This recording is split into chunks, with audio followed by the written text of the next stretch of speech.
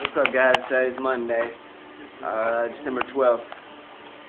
I just wanted to make a quick video real quick just so I could uh, tell you guys how Indiana rocks. I don't know if you guys seen it last night, but Indiana put a hurt on Kentucky and won by the last second. I'm sorry, that was Saturday night. My bad.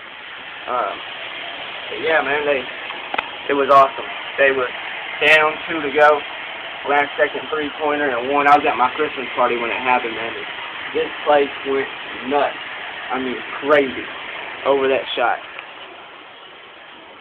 So I just wanted to give y'all a quick heads up on that if y'all didn't catch it. Indiana beat Kentucky by one point at the last second. If you don't know, I'm a Hoosier from Indiana. Look at my little man. Trying to walk in his walker. Say hi, buddy. Say hello. Hello. Whoa, whoa, whoa, whoa. Whoa, whoa, whoa, whoa. Can you walk? Can you walk? Walk backwards. Yeah, so all he can do right now is walk backwards, but at least he's trying to walk.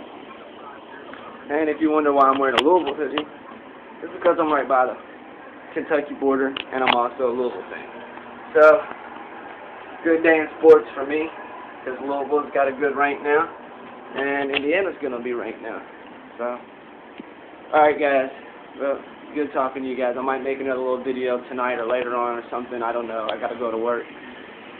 So, peace out.